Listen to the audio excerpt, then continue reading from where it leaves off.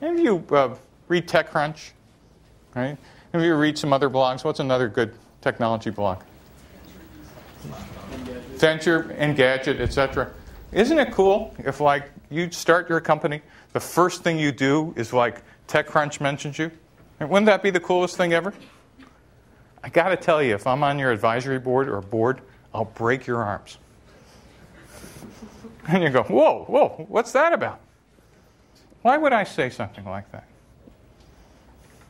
For me, any type of press, any type of PR, any type of talking about your company is not done over here. Because on day one, your hypothesis about what your company's about, what service you're offering, what pricing, what whatever, trust me, will be radically different after you have some contact with customers.